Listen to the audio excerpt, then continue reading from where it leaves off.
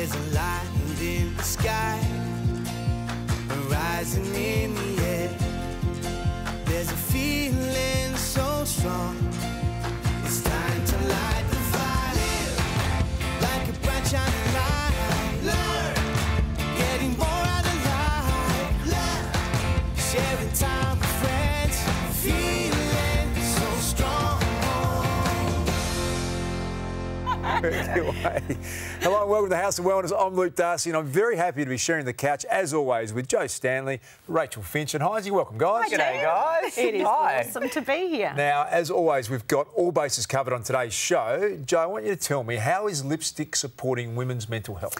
Yes, well, Darcy, I do love a bit of lippy, obviously. And while you blokes own November with Movember, Yep. now us girls are claiming September as Liptember. So I'll be telling you all a little bit about that later on. Yes, fabulous cause. And staying on the topic of women's health and well-being, we'll also be looking at the best care and nutrition during the second trimester of pregnancy. Plus, we'll be pumping iron. We're going to find out how to get more of the mighty mineral into your daily routine, and I'll be meeting a bunch of incredibly strong men who do it literally. You got to see this, Nice. guys. They are humongous. I can't wait.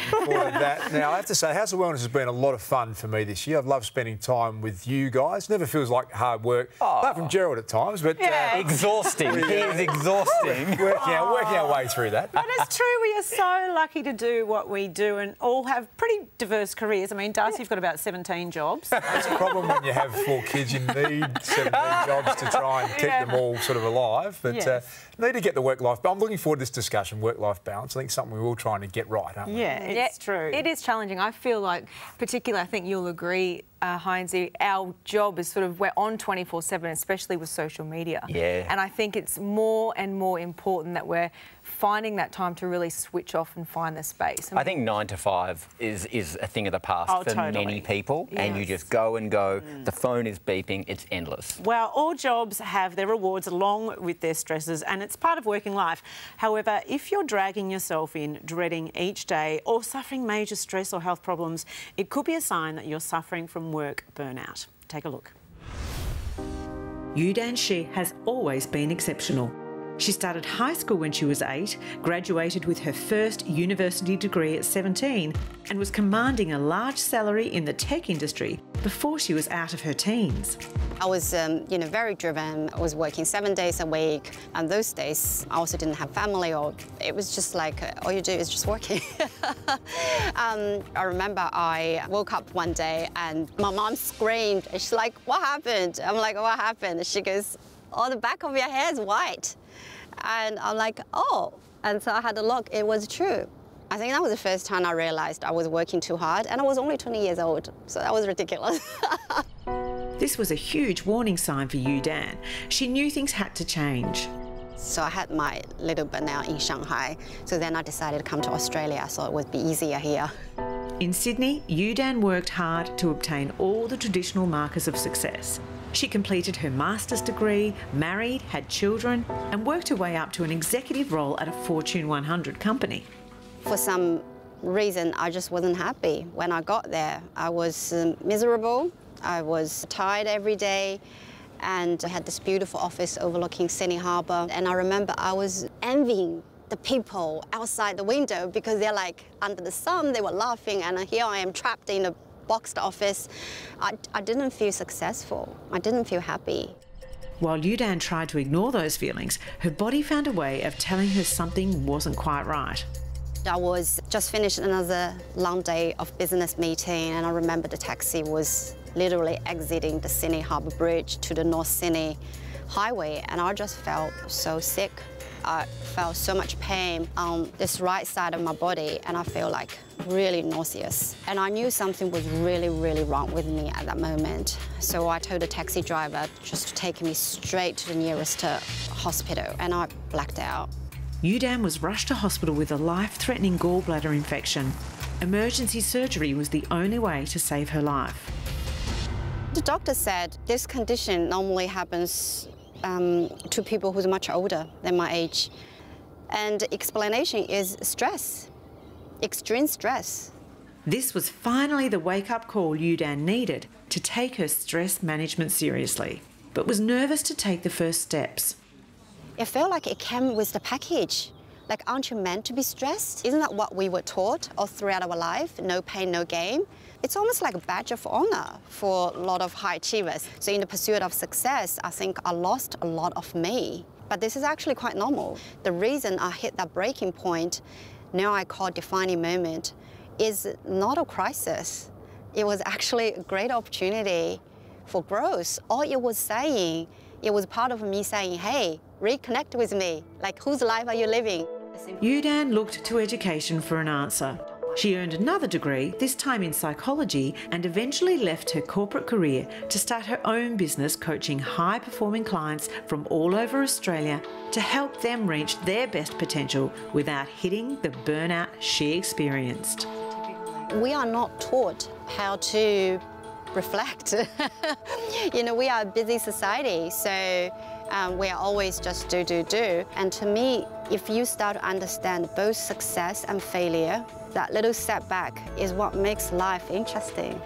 I'm so grateful for that period of dissatisfaction because it forced me to study, forced me to research. And when you can make sense of your own challenges, this is also when you can actually create meaning. Don't, don't be afraid of these little challenges because it's all about learning about ourselves and learning about how to live, right? We're not taught at school, so this is a great opportunity. Yeah, interesting, isn't it? Everyone's striving for that work-life balance. We talk mm. about it all the time. Want to achieve great things, but as we see with people like Yudan, working too much in a job you despise, it's not worth the cost to your health or to your loved ones or any of that, I suppose. No, that's right. I don't know if you saw it a few years ago. There was an amazing article written by a palliative care nurse. It was called Top Five Regrets of the Dying. Yeah. Hmm. And the number one regret for men, especially on their deathbeds, was wishing they hadn't worked so hmm. much. Yeah, I think I saw something similar. Other wishes on that were staying in touch with friends and just simply letting yourself be happier. It's interesting, we spend so much of our lives trying to gain things and get things and tick boxes about houses and things we own.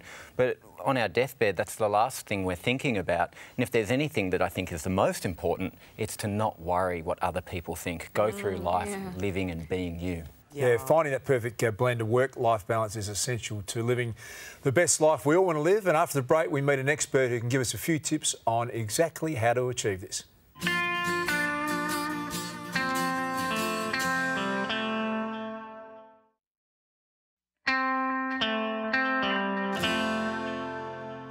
Welcome back today. We're looking into work life balance and how to avoid becoming burnt out at work. And here to tell us more, a workplace psychologist who helps empower people in their careers and beyond. Welcome, Dr. Daniel Condon. Hi, Daniel.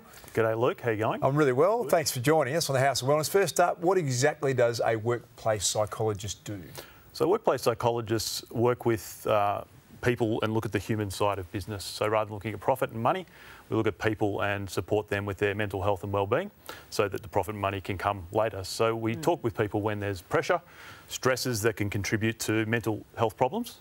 We also coach people for performance and uh, career progression, and then we consult organisations to help them to set up a more healthy and safe workplace so that they can be more productive in the end. One of the most important things. Yes, absolutely. That's it. So, That's it, yeah. so before the break, we Sure. saw Yudan's story and how her workplace stress and her burnout Mm. was affecting all areas of her life, particularly her health, in a, a very alarming way. Is she a typical case? And and what are some of the other common causes?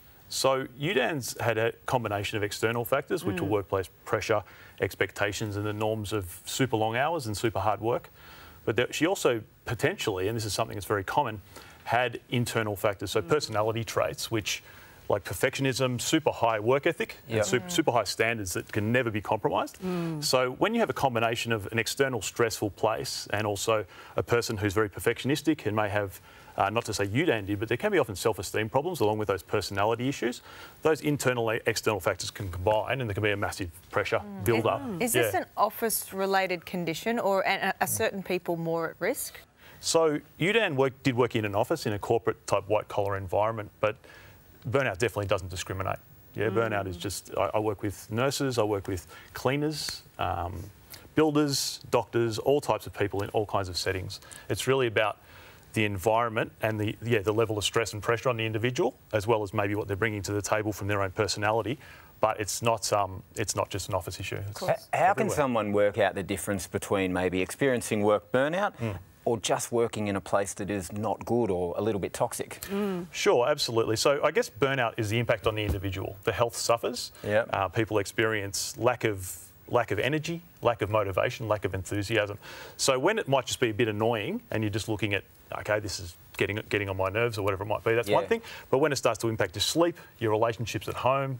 Um, how you're feeling within yourself, so your mood can drop. You can feel stressed for no particular reason. That's when it crosses over into burnout. I had an interesting experience where I was convinced I had food poisoning. I left my place of work at the time, which was as a personal trainer. I got back to my apartment, felt like I've got food poisoning, went to the doctors and said, You don't have food poisoning, this is a panic attack. Wow. This is Yep. burnout, you're Yep. exhausted. Wow. Yeah, it was very powerful. Yep. So often, my my clients who I see say, say that they've been to the hospital to check out their heart. So their heart, Wow. they feel very breathless and their heart goes really fast, and they go to hospital. It happens again and again. It's amazing. That's how bad a panic attack can feel. Looking after Yeah. those at those vital signs, what, in your opinion, constitutes as clocking off? Because you know a lot of us have sure. that 24/7 on feature Mm. with work. Email access is open all the time. What do you think constitutes as that? So clocking off is really a blurring boundary these days, isn't it? So the the time between work where we're on and performing and home where we're meant to sort of rest and recharge with you know generally the people we love is really blurring and um, it's actually blurring in favour of work. So clocking off is becoming something which isn't as clear. And I think that the solution is drawing those boundaries. So it's about being assertive, drawing those clear boundaries within yourself first. So I won't be on technology after a certain amount of time. I'll engage with, with my family or, or my friends at certain times and force those interactions so that you can sort of fight back against that blurring boundary and the encroachment of the workplace. And it's hard because it beca- it can become so addictive. Like we all love Yeah, our no work. doubt, no we doubt. want to answer Yeah. emails. We want to keep Sure. going. Want to mm. progress. So it's like let's take a moment Yeah. and breathe. And so, So, yeah. Daniel, what, what advice can you give those watching the House of Wellness today to try and avoid getting to the point where you are burnt out? What are the daily things people can do?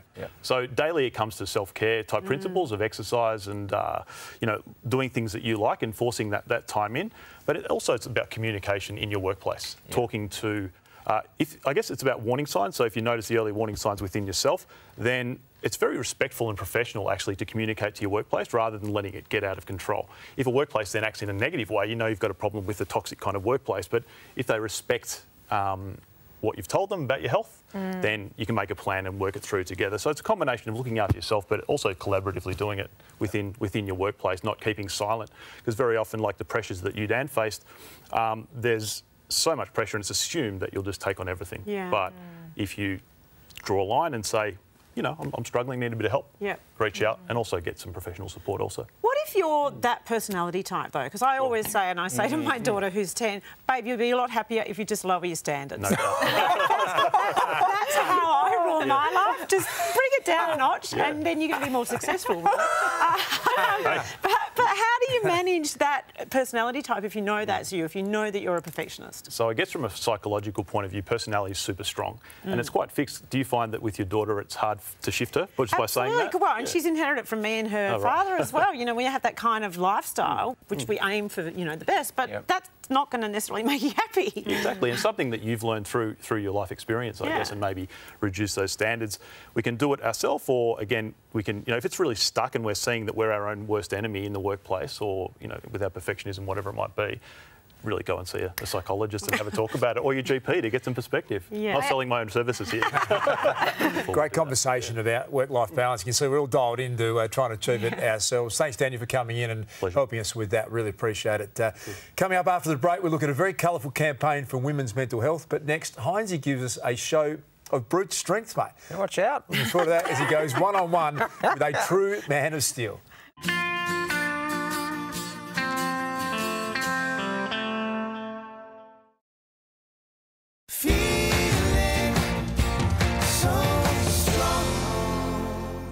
Yes, welcome back to the House of Wellness. Well, Hinesy, I do most of the heavy lifting around oh, here. Here we go.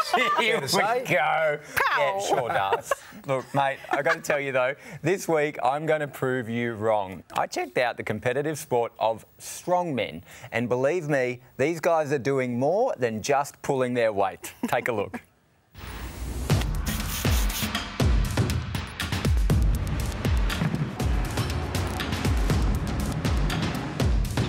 Sam Lesurf is a living, breathing strongman. He competes in the sport, trains his clients in the sport, and today he's going to see if I'm cut out for it. Sam, for someone who's never heard of it, how would you describe strongman? It's basically just lifting up anything, anywhere, anytime. You, you just got to be able to lift, lift random stuff that you see. So traditional strength training is often quite linear. So you're just picking something up, pressing it, or squatting it, or, or using a leg press or something. Whereas strongman incorporates the whole body. So we're doing stuff that carries over into real life by walking with stuff, moving stuff, flipping stuff, putting stuff on on high uh, platforms, all that kind of stuff, using your whole body in a functional way. Where do we start? We'll start with the Atlas stones. You need to lift them over this bar. Okay, how much does this weigh? That's 110 kilos. This one? 140. All right, show us how it's done. Alrighty. So you got to get your hands nice and wide. Yep. Get under the stone. Lifting the stone up into your lap. Oh. Hug it nice and tight to your chest, and then you stand up. Oh. And dunk it over the bar. Wow. How big are we talking to be Australia's strongest man? Eddie Williams is Australia's strongest man currently, and he's 180 kilos. 180 kilos.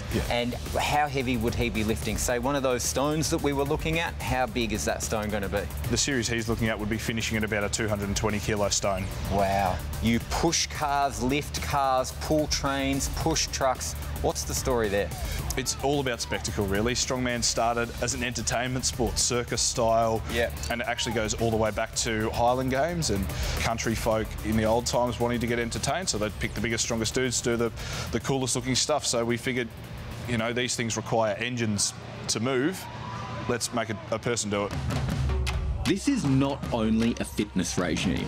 Strongmen competitions are held all over the world, with the aim being to just lift really, really heavy things.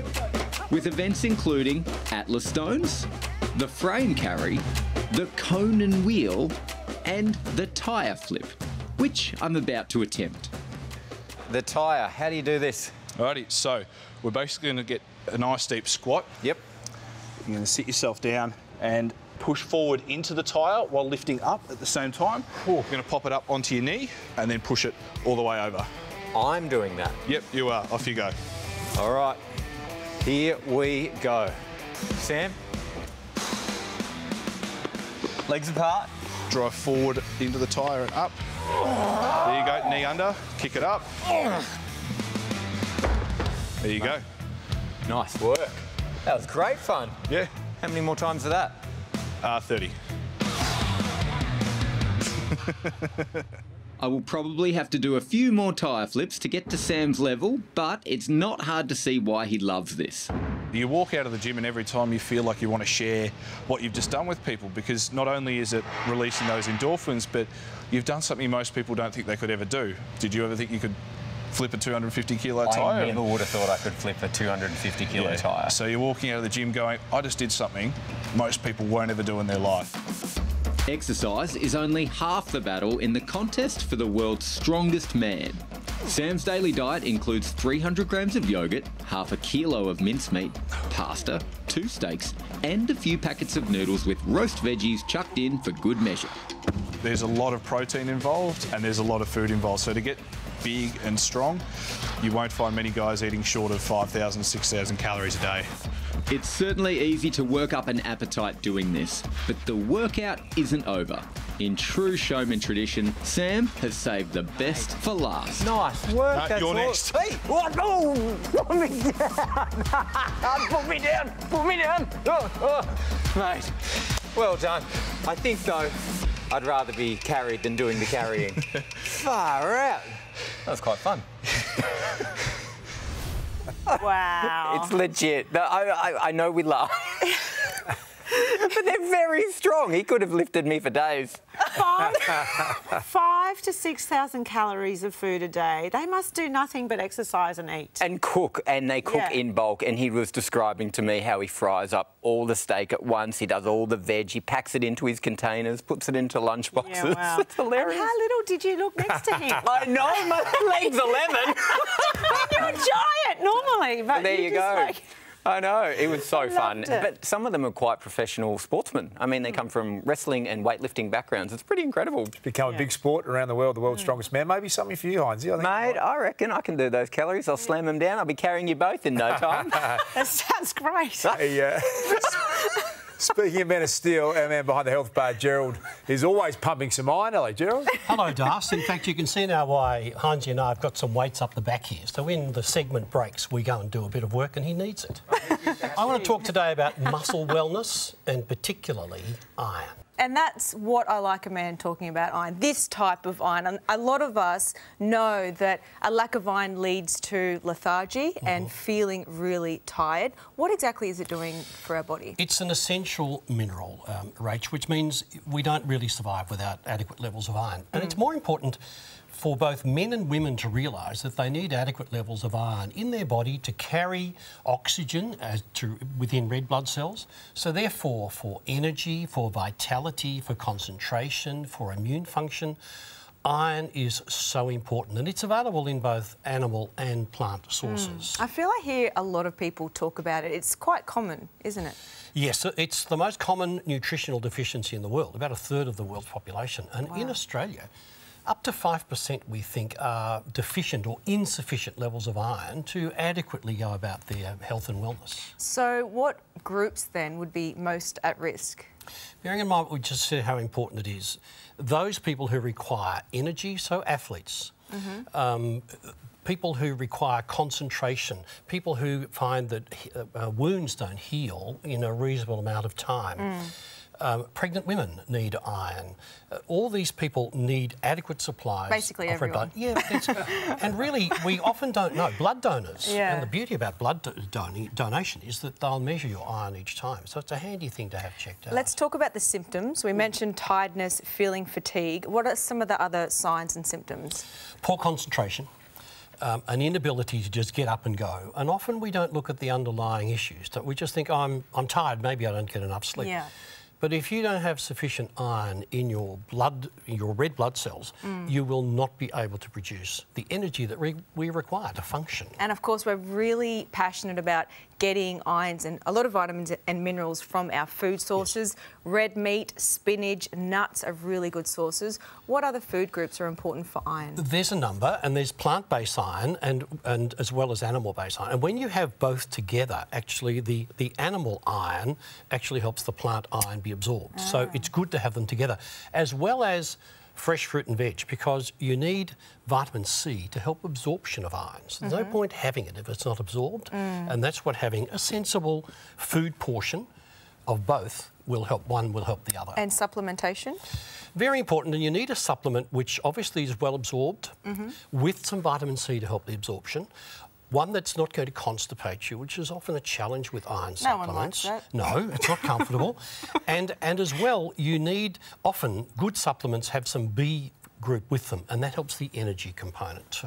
Understand. And who would benefit from this type of product? I mean, I would assume everyone you were speaking. Pretty well. Adolescence rate, sh- people growing, um, women of childbearing age because of menstruation, athletes, very important, blood donors, and those with absorption issues, like people with celiac who don't absorb nutrients from their gut all that well. All of those people are probably beneficial to taking iron. We are so lucky to have you. Thank you, lovely. And the A to Z of vitamins is brought to you by Go Healthy, New Zealand's number one premium supplement brand, now available in Australia.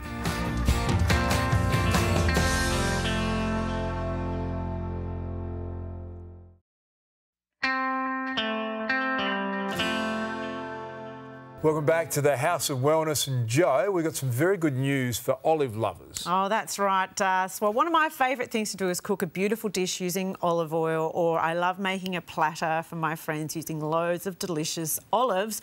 Unlike some other indulgences, they're the great news is they're very good for you. And here to tell us more, welcome Health and Nutrition Manager from the Olive Wellness Institute, Sarah Gray. Hello, how are you? I'm really well, and I'm happy to talk about olives because I just love them. So we know that olives and olive oil are really fantastic. Fantastic for lowering bad cholesterol and for preventing cancer and lowering blood pressure, and they're packed with antioxidants. But of course, there's plenty of goodness in the olive leaf as well. So, what does olive leaf contain that makes it so great for us? Well, it's got two main antioxidants, both of which are very difficult to pronounce. Okay, so there's I won't try.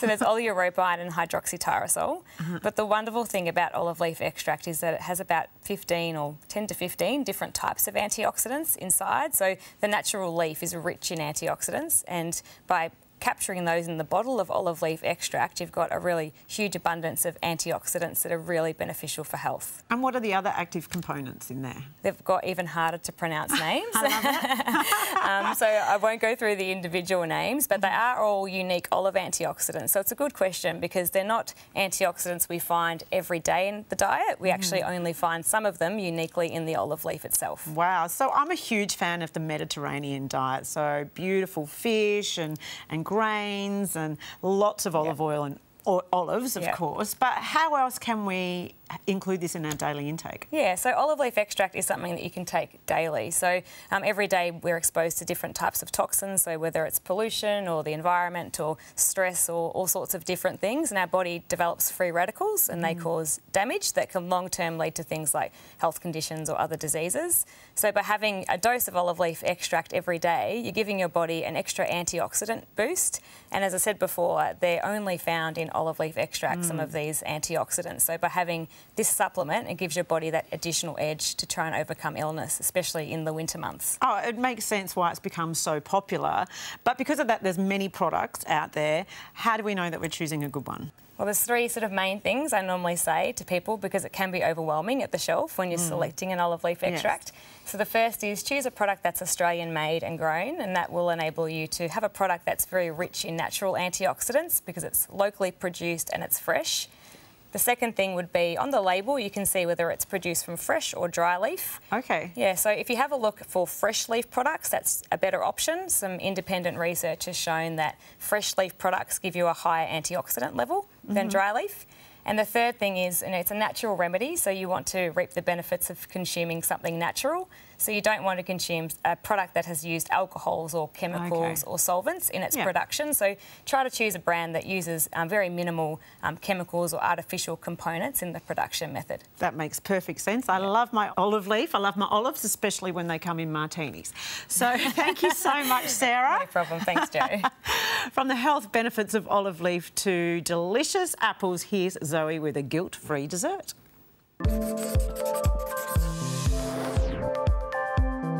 If it's true you are what you eat, then you are definitely going to want to try my chai spiced apple crumble with yogurt cinnamon. It is amazing. So let's start with the crumble. This crumble has oats in it. Now, I'm a big fan of oats in the diet. They contain something called beta glucan, which is brilliant for our digestive system. I'm using almond meal, and then we've got the coconut in there. All of these are beautiful, good fats. They contain protein, and as we know about protein, it's satiating, but it's very, very very slow releasing. The sweet element is the dates. So you just want to chop your dates up.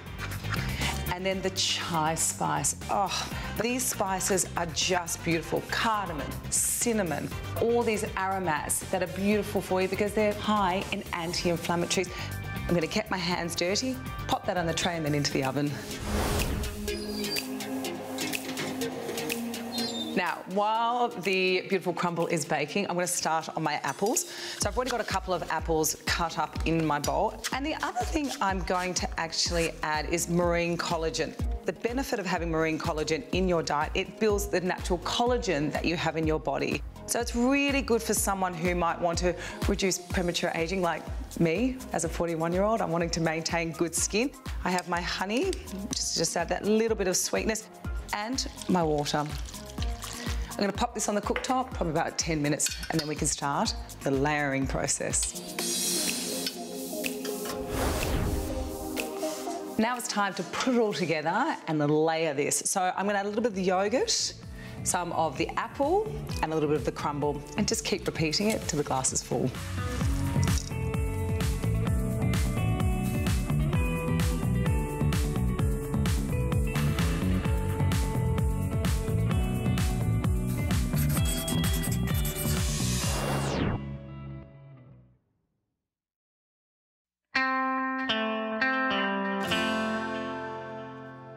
Welcome back. Great new campaign is about to kick off in Australia, which is all about promoting and supporting positive women's mental health. Great cause. Yes, absolutely. We've been focused on the crucial area of men's mental health in recent weeks, which is mm-hmm. super important, but it's now time to give the girls a go. Mm-hmm. Women across the nation are being asked to pop on some colourful lippy throughout the month of September and help out a great cause. You don't have to have all the answers to have a conversation.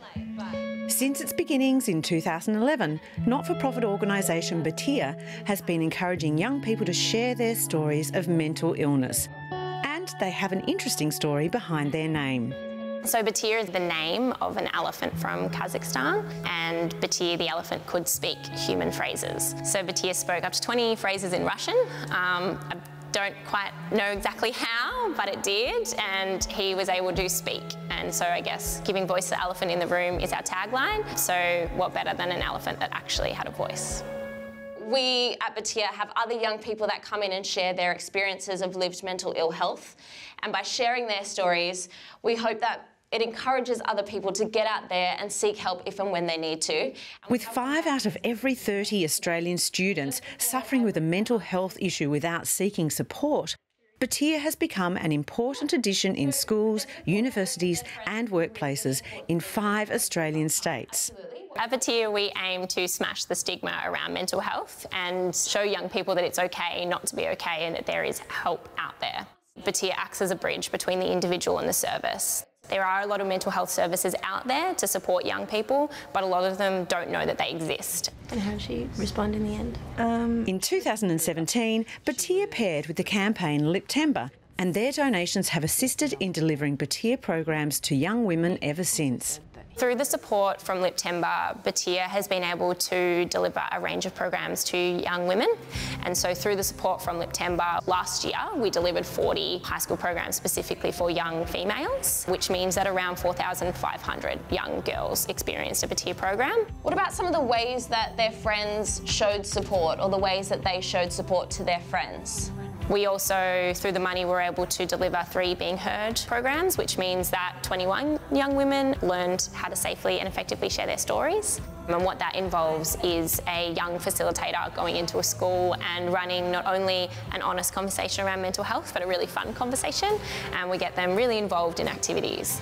Within that program, we also have two lived experience speakers share their stories. And so in the audience, we have these young women hearing stories from young people they relate to and connect to, and they're speaking about their experiences through high school. So it's relevant to their age group. And so to have a campaign like Liptember supporting what we do um, not only says that what we're doing at Batyr is working and it's valuable, but it also means that young women out there are getting Batyr services and they're learning who they can reach out to if they're struggling themselves and are going to run our community one day. And so supporting them to be able to set the tone and the culture for what our conversations need to be around mental health is a really important message to support. Liptember is continuing their support of Batyr's goals in their 2019 campaign. If you're interested in supporting Liptember or in or any of the other organisations, you can jump down to Chemist Warehouse and buy some lipstick and rock it throughout September. And if people ask you about why you're wearing such vibrant lipstick, tell them that it's important to support women's mental health and mental health in general. Definitely rocking some pink come September, I think. I love the bright lipstick, and last Yeah. year, Liptember was able to reach more than 5.2 million Australian women and encourage them to start a conversation. That's exactly right, Jo. And just like with the men's mental health, the key is talking, the communication, supporting each other, and raising that awareness on mental health issues nationwide. And I reckon blokes should get behind it as well. I reckon one day, Das, Gerald, and I should don some lippy for a segment, an Yeah, entire segment not? to bring awareness to this because I think we could be doing more for mm. it as well. Yeah, good call. Uh, happy to do it. I'm bagging pink. You're going pink, Yep. yeah, and I think it's uh, you, no problems there, mate. That's Okay. all yours. But when you've got a, I've got a 14-year-old daughter, and you know, conversations with the boys is, is challenging, but trying to connect with your 14-year-old daughter in this Mm. space, it's uh, you know really powerful to have these conversations open up. So. Oh, absolutely. I just remember being a teenager myself, and you would remember too, Rach, how we put so much pressure on ourselves to be something better than we actually are. We just have this image. It was like we were talking perfectionism Mm. earlier today.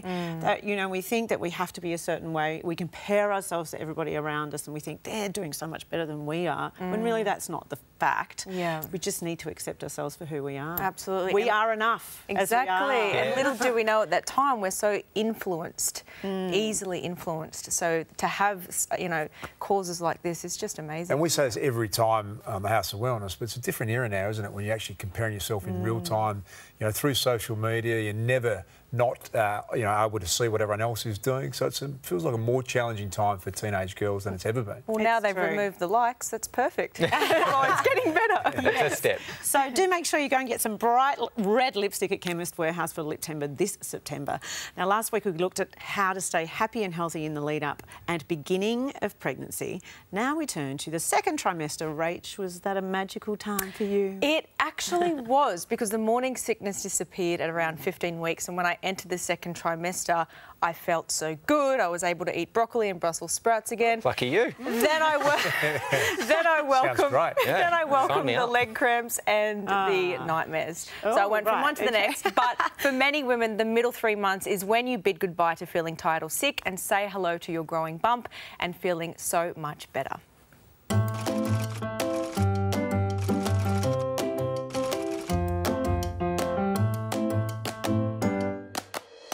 Your second trimester, a lot will change. Um, you usually you'll find you have a, a lift in your energy levels. I just found that the symptoms just change. You lose one, you gain one. Yeah. yeah. So for me in the second trimester, I've, I've been quite good, been able to stay awake. But at the same time, I'm staying awake with heartburn.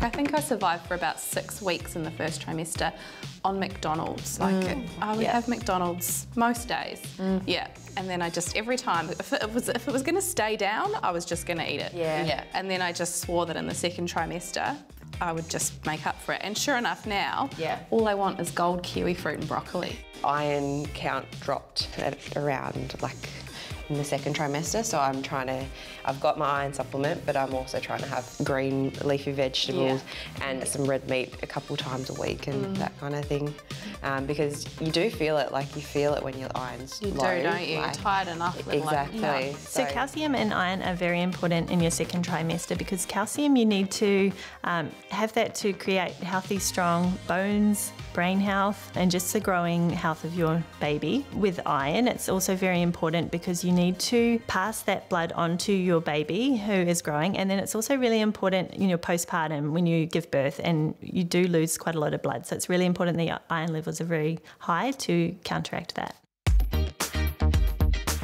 At the gym, I get some funny looks, but I think that's because I look funny. You wouldn't do it if you knew you couldn't, if you felt you couldn't. Yeah. You sort of need to um, listen to your body and make sure um, you're just sort of modifying your exercise as you go along. My friend with her second pregnancy, she had gestational diabetes, and she was telling me that her daughter needs to be tested for diabetes. So that kind of worries me because I, th- I hate the thought that my body has done something to then pass it on to my child. So, women can reduce their risk of gestational diabetes by eating a really well balanced, healthy diet and making sure they exercise as well. So, my tips for a stress free pregnancy are just to really listen to your own body. Also, build your support network. So, making sure you've got a really good doctor that you can trust, you can always go to with advice, and they're happy to help you and they really understand, you know, your previous health history because I think that's very important as well. Time for a break. Looking forward to Rach serving up her ultimate breakfast bowls next. Yum! Bring it on.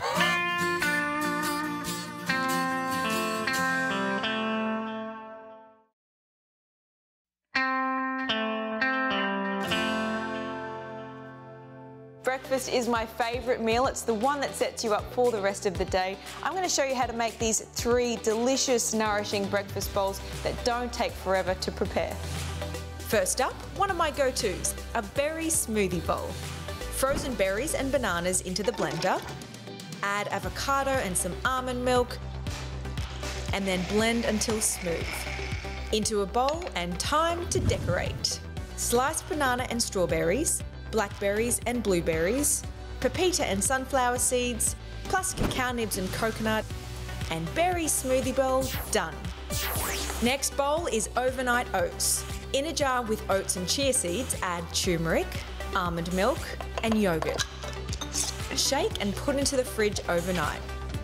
When ready to eat, put into a bowl and decorate with berries, pepita seeds, and mint. For more sweetness, you could add honey or maple syrup. Overnight oats, done. Finally, Mexican macro bowl. Add to pre cooked rice some lime juice, chopped coriander and parsley, then mix. Decorate with tomato, avocado, boiled egg, jalapeno, and lime. Mexican macro bowl, done. Three different healthy bowls to kick off your day. Oh, well played, right? That's looks incredible. When are you going to cater for us? You've never brought us a feed yet. You've yet. never brought me anything. Actually, no, I lied. Ah, You- yeah. You, cook for us. Yeah, sorry. You're good. I like breakfast. My favourite meal of uh, the day, just about. I'm Yes. a porridge uh, fan. First Oh, up, very Melbourne of you. Easily pleased. Yeah. easily pleased. Yeah, simple. I, I love eggs because Yeah. they're so full of protein, of course, and energy. But how about I love avocado with Vegemite on toast? Yum, that is such a good combination. is it? Underrated veggie, good butter, Yeah. tomato, amazing. Hines, you're our resident expert with food. You've uh, written 10 cookbooks or and counting. Oh, I've got a little bit of a hack for people because everyone thinks breakfast food has to be cereal or toast or something cooked. If you're short on time, make double dinner and you can have Oh, yeah. leftovers from dinner for breakfast. This morning I had a beautiful beef curry and roasted pumpkin in my hotel around For the breakfast? corner. I love and it. I loved it. No, I love dinner for breakfast. Yes. It's my favourite. Well, sometimes I have breakfast for dinner. I, I don't mind eggs on toast. We're getting out of control at the House of Wellness. I'm worried for viewers. I, I think on that note, time for us to wrap up. Uh, you can find all the info you need on our website. Anything on today's show, go to houseofwellness.com.au. Don't forget to tune into our radio show every Sunday. And as always, thanks to our good friends at Chemist Warehouse. See you next time. Bye. what have you had for lunch today?